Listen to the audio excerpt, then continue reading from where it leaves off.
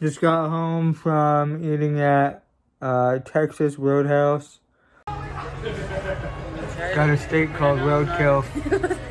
uh, basically, why it's called that is um, it was already really easy to cut, and I think it was mainly because it was a really tender cut, and I was able to literally just use a fork to eat it. I didn't have to use a knife.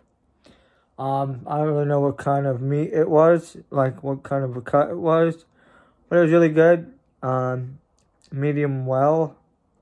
So yeah, it was really good. Uh, I'd say 9 out of 10.